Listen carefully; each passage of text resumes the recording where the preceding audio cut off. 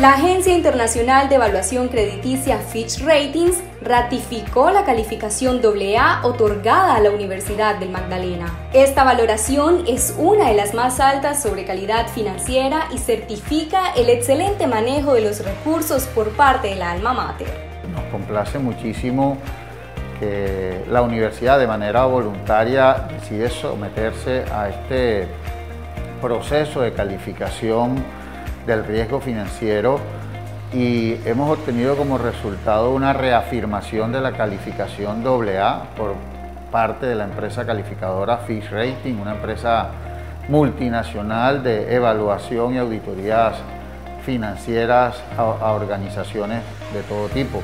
Casa de Estudios Superiores es la única universidad pública de la región Caribe y la única entidad pública del Magdalena que cuenta con la alta calificación. Su ratificación se da en medio de los desafíos financieros que afrontan las instituciones de educación superior por la pandemia. Creo que es un voto de confianza eh, enorme que se le da a la universidad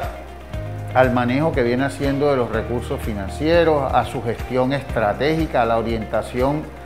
que el rector Pablo Vera Salazar le ha venido dando a esta institución en compañía de su equipo directivo y con el apoyo